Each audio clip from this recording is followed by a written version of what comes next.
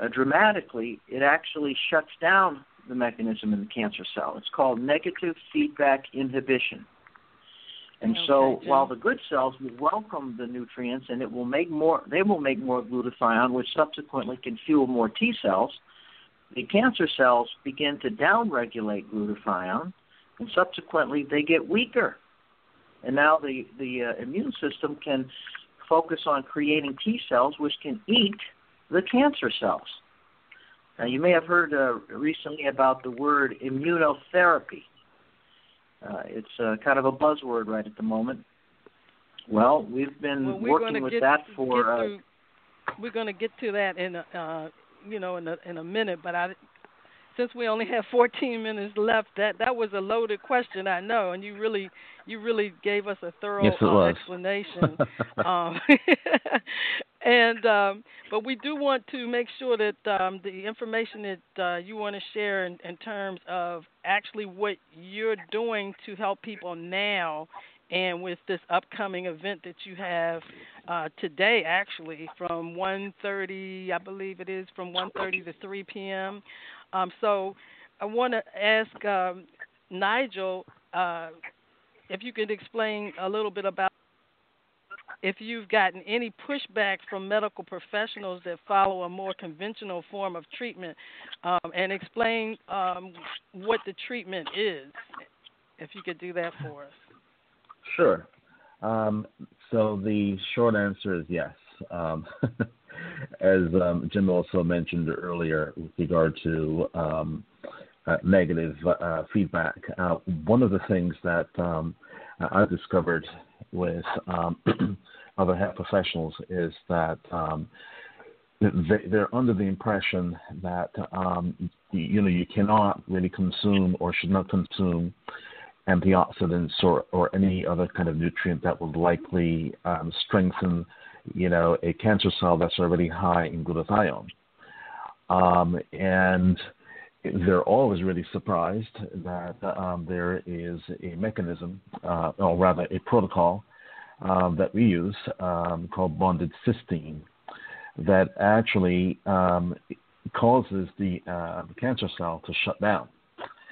Um, so as Jim mentioned, the cancer cells are very high generally in glutathione, which makes those cells resistant to uh, chemo, radiation, and whatnot. And as a result, um, once the doctors apply that, um, they end up um, killing good cells and, and oftentimes actually killing the patient. You know, it's really interesting. Um, one of the, the common refrains now is that um, you know, either the uh, cancer will kill you or the treatment will kill you. And, and this is one of those things that is accepted in the industry. And that is what Jim and I are actually trying to change. Um, um, get cancer sufferers, you know, to realize that, hey, there is hope. You know, I don't have to hold on to this adage that, um, you know, one day the cancer may come back.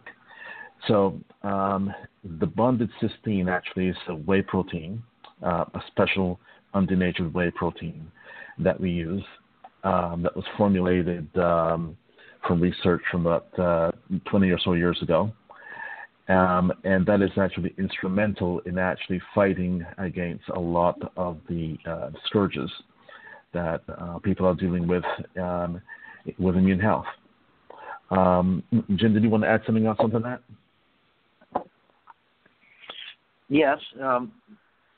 What is um, what has become available in uh, glutathione technology are, first of all, some drugs uh, such as uh, uh AZT, um, OC, um, SAMe, um, NAC. Uh, these drugs are uh, have synthetic forms of cysteine, and under an emergency use, um, uh, NAC is used to uh, detoxify uh, overdoses of Tylenol and uh, some other drugs. Um, however, for prolonged use, they uh, they actually can cause more damage than, than good. And so, to be able to have a naturally sourced bonded cysteine is is is unique.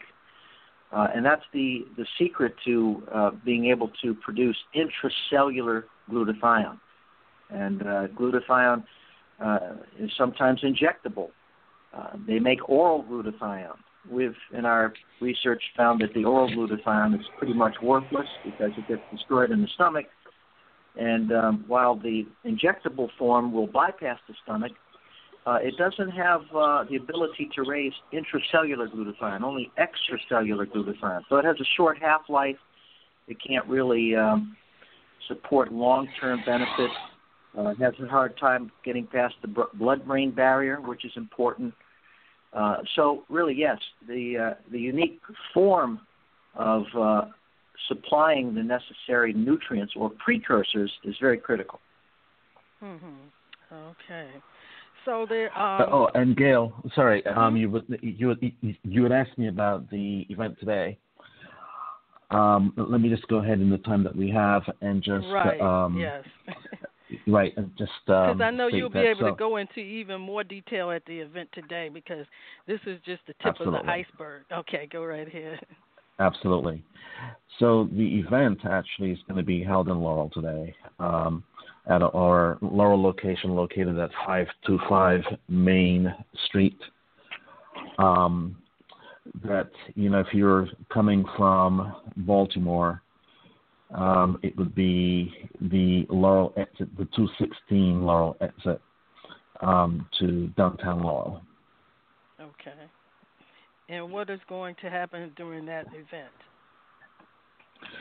Well, um, Jim is going to be there, and uh, um, Jim is going to go into detail. He's going to give some history um, uh, with regard to the research. We'll, we'll, talk a bit about the research because I realize that research actually is going to be important to perhaps to some of the um, health professionals who are going to be present today. Mm-hmm. And uh, um, one of the other things that we didn't mention was that the protocol that we're talking about today uh, was very, very close to being released as a drug. So that being said, um, it is um, in the PDR, it's in the uh, Pharmacy Red Book.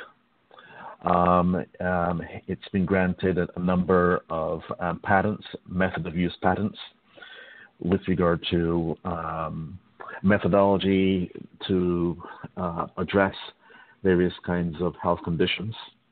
Mm-hmm. So, um, what our audience will discover today that um, this modality is not necessarily limited to cancer alone. But I chose to talk about cancer today, um, largely because I realized that a lot of people really are suffering, especially in the DMV area. Um, yeah. Cancer rates are just um, skyrocketing every single day. And that's one of the things that um, Jim will also address today. Um, what um, what the research is showing with regard to this region and uh, um, and some of the um, cancer causes.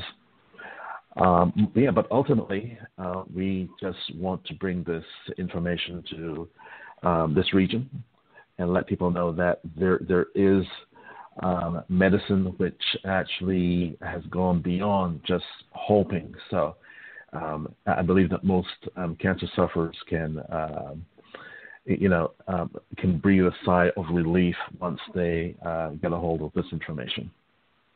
Okay.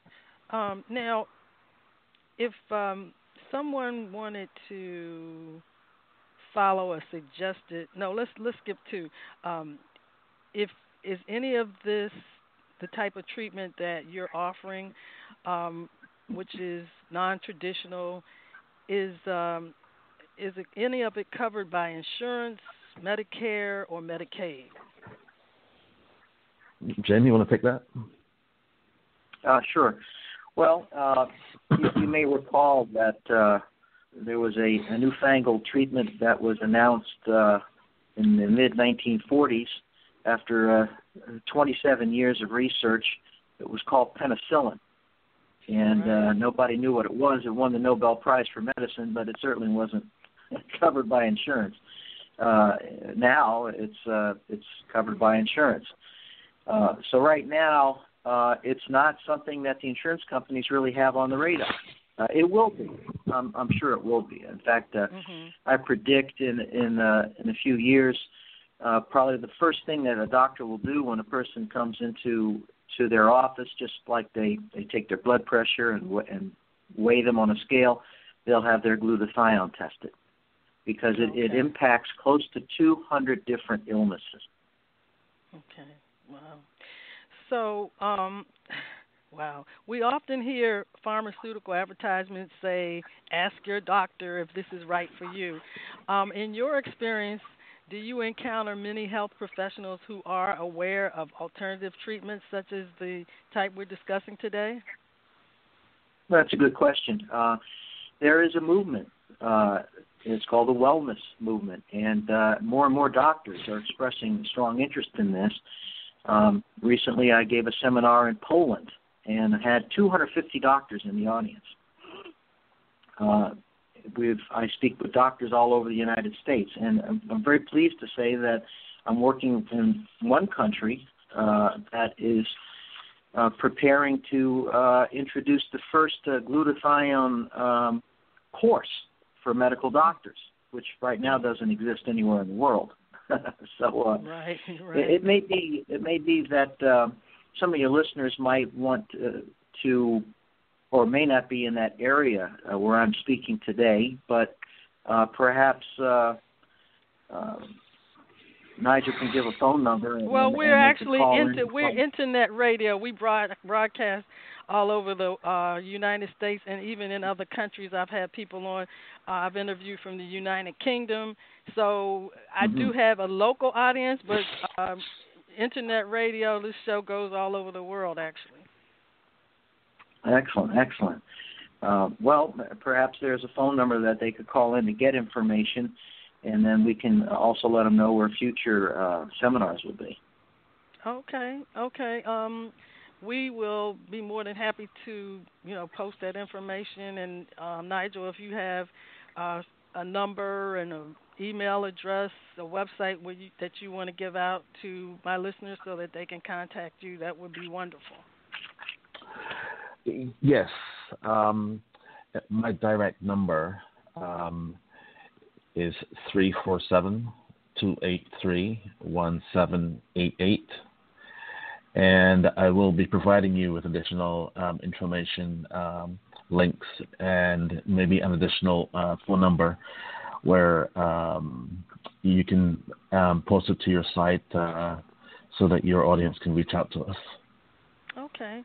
And finally, I want to ask, um, in terms of the different types of glutathione, thion, I know people are going to the health food stores and, and purchasing these products. Is there a difference between these products and the protocols you support? I mean, I'm, I know there are, but I, I absolutely have to be. But I mean, some people are saying, well, I could go to the uh, local um, health food store and buy glutathione. That is true. Well, uh, if you want, I can answer that, Nigel. Yeah, yeah um, go ahead, Tim. I mean, there's there's uh, there's a doctor that I uh, was asked to visit in Orlando, Florida, recently, and and he he proudly pulled out a, a jar of glutathione. Uh, he sells it for like $150 for the jar. And, and we're I down said, to two uh, minutes, well, gentlemen. go ahead. Yeah, I asked. I told him, "You realize that uh, that is absolutely worthless." Mm-hmm. And he said, "No, I didn't know that." I said, and, uh, and I showed him the clinical study on it. So, in essence, yes, it's uh, what we're going to be explaining today is probably the the way, the best way to do it. And uh, there's many ways, but most of them have some uh, side effects or some dangers to them, or they, they really are, are not uh, the best. So yes, it's, uh, in our opinion, there's there's only one really true way to do it that's safe and effective, and you can do it every day. Wonderful, wonderful. Wow. Well, thank you so much, um, gentlemen, uh, for this powerful information that you've shared this morning with my listeners. And again, the event today is at 525 for my local listeners, 520, 525 Main Street in Laurel, which is off of 216 in downtown Laurel. And you can Google that, 525 Main Street in Laurel. And um, we want you to come out between 1:30 and uh, 3 o'clock p.m. and find out really all the uh, details in, in, powerful details that we weren't